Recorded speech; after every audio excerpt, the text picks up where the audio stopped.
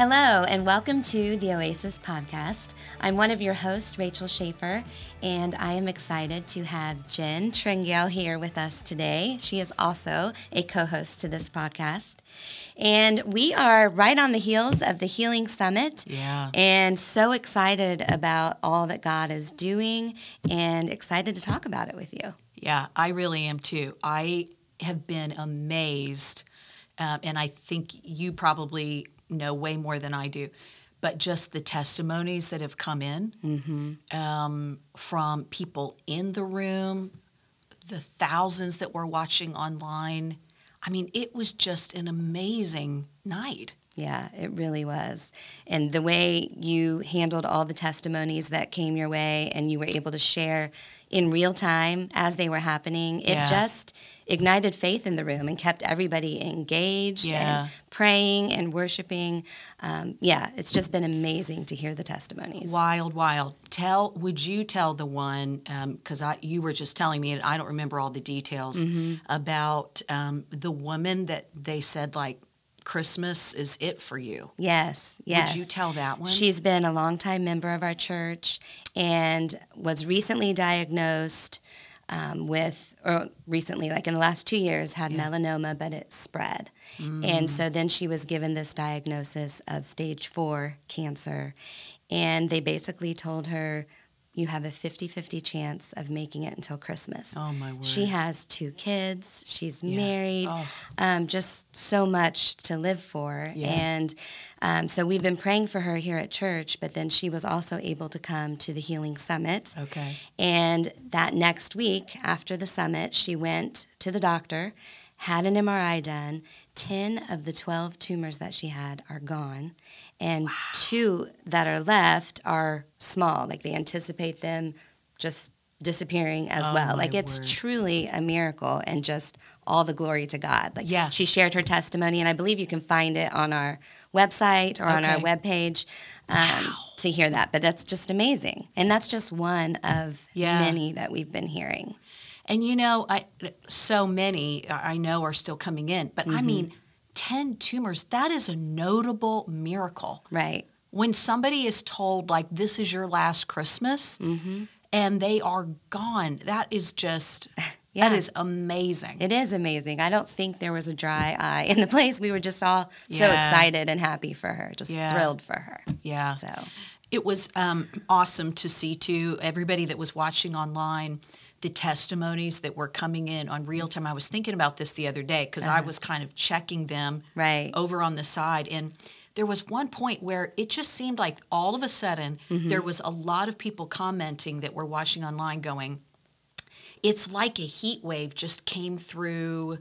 our house or our oh. group or it was like this wave of healing and i thought that's so interesting Right. i mean when you're partnering with the god of the universe in healing and all the ways he's moving in that so many things are happening Yeah. you know at one time Right. um, what an amazing night It yeah, it really was. And so incredible to think that literally people were joining from all over the world, Yeah. all at one time, and Holy Spirit was moving in every place Yeah. in unique, incredible ways. It Yeah. really was an amazing night. Yeah, it really was.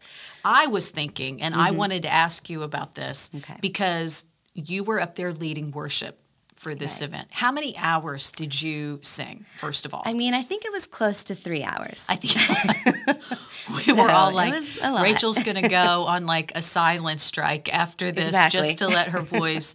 That that is a feat of strength. So Yes. incredible. You and the team did an amazing job. they did. Um, yes. But what, from your perspective, like just approaching um, as a worship leader, leading worship through an event like that, and then actually doing it as hands are being laid on the sick and all this is happening, like, Right. what was that like for you? What headspace were you in as all that was going on? Yeah.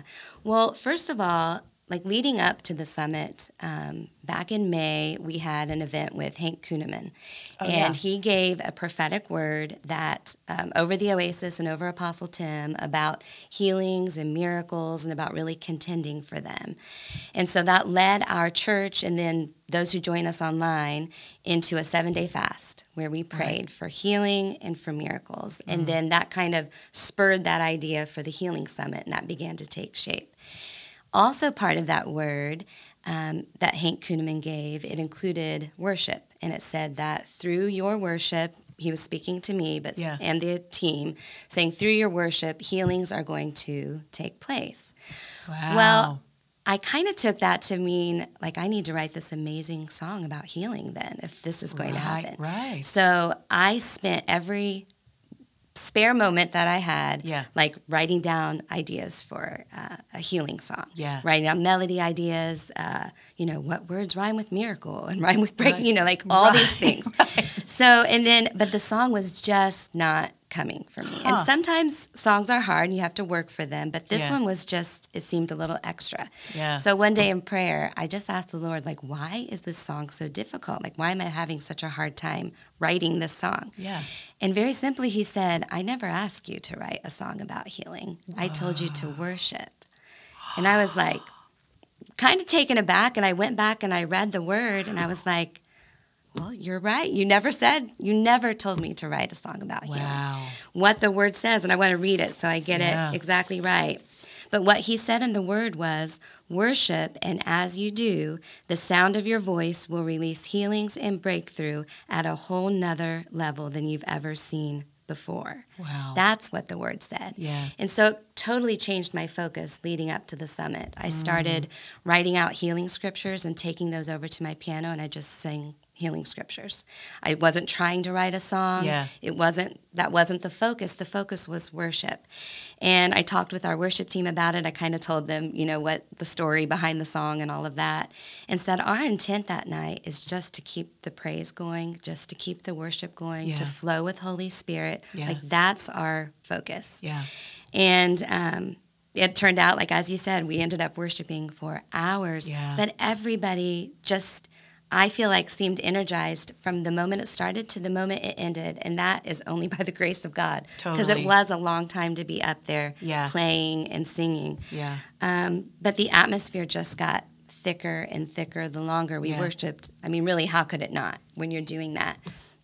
And the focus really became it wasn't about the song we were singing, it was mm-hmm. about the one that we were glorifying and exalting and magnifying. And that's why the atmosphere was just ripe, really, for miracles.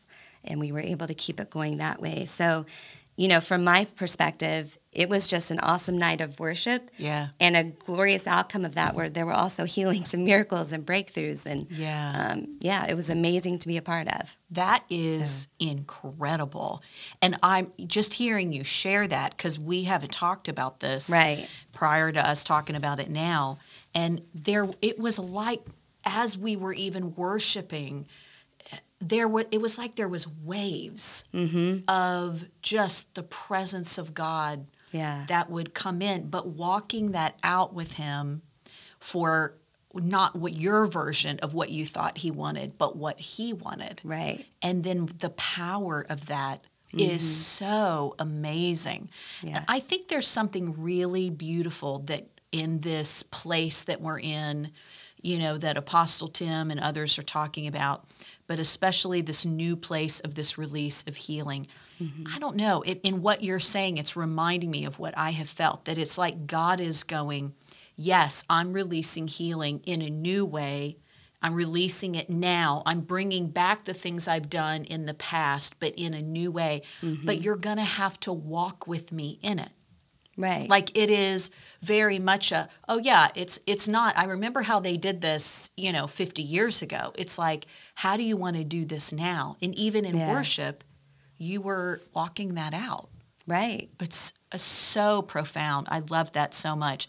Um, I I believe that God is teaching His body again how He works. You know, when Moses talked about like, "Show me your ways," mm-hmm.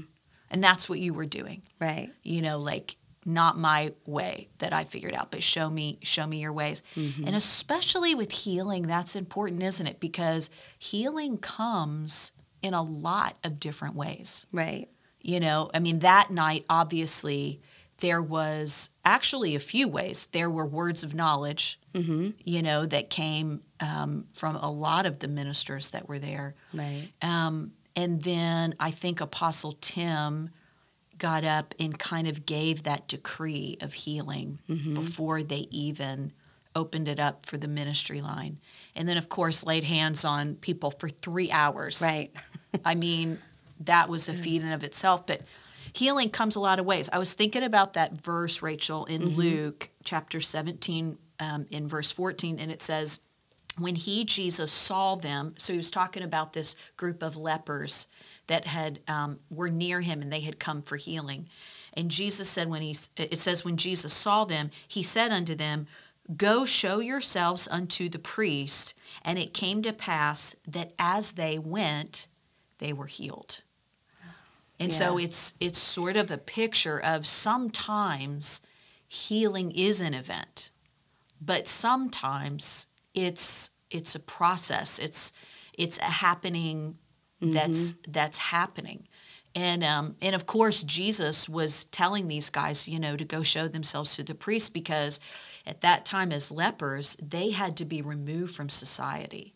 Oh. You know, they had Yeah. to live outside of the city because of cleanliness and, and they were dealing with open sores. And so to contain that, so the only way they could re enter was they had to go show themselves to the priest, and the priest had to say, okay, yes, you are healed, you do not have leprosy, so you can go back to your family, you can go back to your career, you can go back to, to joining life as you know it. And you think about the faith that that took Right. to Jesus is like, go show yourself to the priest, but they still have leprosy Right. at this point. Yeah. And so to go find the priest, they got to go walk into that town. Mm-hmm.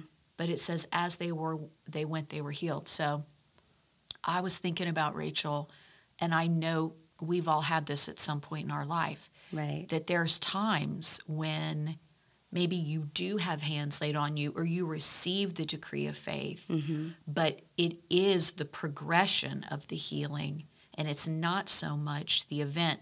We've all had to receive healing like that at some point in our life. Um, Right. have you experienced that? Yeah, um, I've experienced it actually a lot. I feel like in my life, but Yeah. the the main um, thing I'm thinking of today is our son Jaden, and he's our youngest son, and He's such a doll. he's yeah he, He is. is so he's, sweet. He's sweet and he's funny. He's got an awesome sense of humor. Yeah. And um, when he was six, he was going in. So he was born with a cleft lip and palate. Yeah. And when he was six years old, he was going to have a surgery related to his palate. And during surgery, no one knew it, but he had a stroke. And so when when he should have been waking up like from anesthesia and all of that, Yeah. he really wasn't. He never fully came awake. He stayed in like a semi comatose state, really. And nobody could understand why. There was literally no reason had the surgery gone smoothly. And how old was he at this point? He was six years old. Six years old. Yeah, Okay. he was um, actually in kindergarten still. Oh, So nobody knew what was happening. Yeah. And obviously, you know, my family came and everybody came and, you know, we were praying over him and just, you know, crying out to God, like, you know, heal him. And we actually at one point had a doctor come to us and say, you know, your son is losing the fight and we need him to win it. And I think it was at that moment that I thought, okay, I need to get myself away into Yeah. the presence of God because I don't know how else to walk this out. yeah. And um, it was when I did that that um, Holy Spirit prompted me to look up Psalm 31. And the whole chapter is excellent, but the highlight of the chapter was the end where it said, You are brave, you are strong, don't give up, expect God to get here soon. And I, that it just became like a rhema word to me. It was like speaking straight to me. And already the chapter had been talking about God breathing life for you and breathing day in and day out. And that was one of our prayers for Jaden because he wasn't breathing on his own. Wow. And um, so, anyway, we began decreeing that scripture. I actually wrote a song and I recorded it just very quickly into my phone because um, at the time I was going back and forth because we had three other kids at home. Yeah. So my husband and I were switching back and forth going to the hospital. So I was at the piano at home, sung it, recorded on my phone, sent it to my husband. I said, I want you to start playing this over Jaden, just hold it up to his ear. We assumed he could hear us, but he wasn't fully awake. Wow. Um, but all the studies say people Yeah. can hear. Yeah. So I said, just, you know, hold it up to his ear, play it. So we did that day in and day out, and we just kept decreeing. And I would give, you know, Facebook status updates, and I would always like hashtag expect God. You know, that's what we were all doing, Yeah. and just believing for His healing.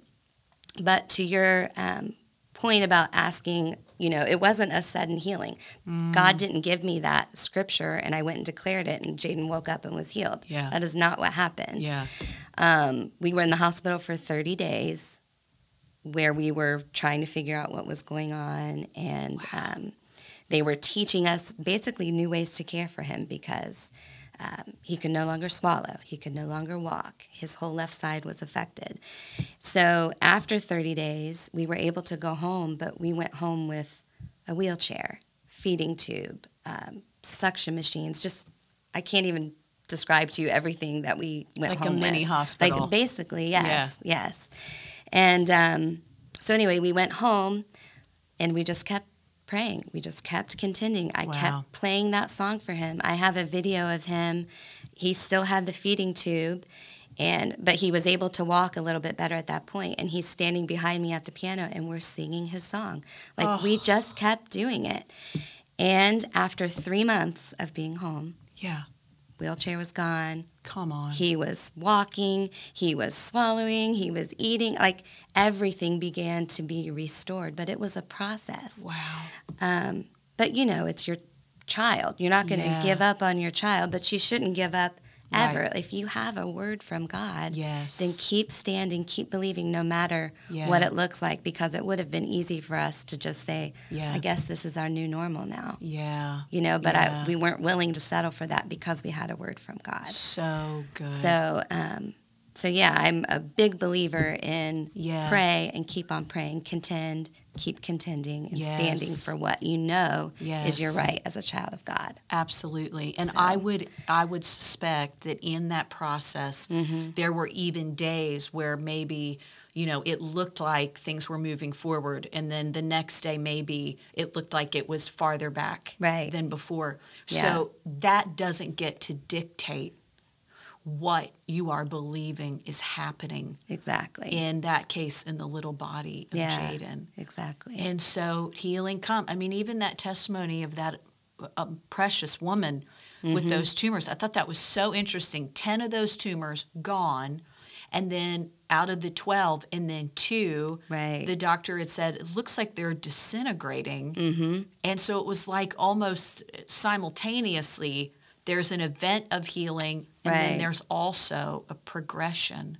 That's true. But I love that, Rachel, and I know that that is stirring people's hearts that grabbed on. Maybe they're watching and they were part of the summit, and Mm-hmm. that command of faith was given, or hands were laid on them, and they are standing and believing. And Right. I think this is such a powerful reminder that you're not crazy and you didn't miss the boat Right. you know, the healing power of God went into your body. Mm-hmm. But what we do with that command of faith or receiving that healing power Yeah. after that is up to us. That's and so true. God works with our faith in that. So, Yeah. um, I don't know. I'd like to just pray. Let's you and I just pray for people that are watching Yeah. that are in that process of healing Okay. and just speak Yeah. to that place, you know, that they're mm-hmm. in. Okay. Father, we just thank you that you are the God who heals. Yes. Jesus, you are the healer. And right now, we lift up those that are watching this, that maybe they already received that decree of faith that by your stripes, Jesus, we were healed. Maybe hands were already laid on them and they are standing in the place of faith for the symptoms to be gone, for restoration to come. We stand with every individual in that place right now, and we just speak strength to you. We say, be made strong in spirit. We say, be strong in faith. Believe that those things that you have received are coming to pass. And we just add our faith with yours right now, and we say, It shall be in the name of Jesus. Yes. That you are healed and whole from the top of your head to the soles of your feet. That every deteriorating condition, every symptom, every effect of sickness and disease is leaving. It is going now in Jesus' name. And we speak the healing power of God to every part of your body in the name of Jesus. Father, we speak to those that are in the need of divine healing right now. Maybe they weren't a part of the summit or haven't been in a place to receive prayer. And so, for those that have sickness or disease in their body right now, we just say, Be healed in Jesus' name. We speak the healing power of God to you, that all sickness and disease is eradicated from your body because by the stripes of Jesus, He received your healing. And so it's yours now. Be healed in Jesus' name. Father, we just give you the praise, the glory, and the honor for all that you are doing in this incredible day that we are living in. We thank you for the healing that's happening all over the world right now, and we give you all the glory for it. In your precious name we pray, Jesus. Amen. Amen. Amen. I really believe that people are that are watching this that their healing's being received mm-hmm. you know right now. I yes. really believe that just grabbing on going that was my moment. That's what i was waiting for. I'm in agreement with that. Yes. You know it's happening. And then also that progression of healing. I mean really what started at the healing summit mm-hmm. it's still unfolding. Oh definitely. You know it's still happening. It's like picking up those waves after wave after wave and um, yeah. what an awesome thing to be in the middle of. Yeah, I believe that. I believe that. Yeah. We're wow. going to just hear more and more testimonies. Yes. And I'm excited for all that God is doing. I am so. too. I am too. Well, this has been so good. Um, thank you all for joining us today. And remember, the greatest days in church history are not in our past, they're in our present and in our future. Remember, you can share the Oasis podcast with your friends and family. Thanks for watching.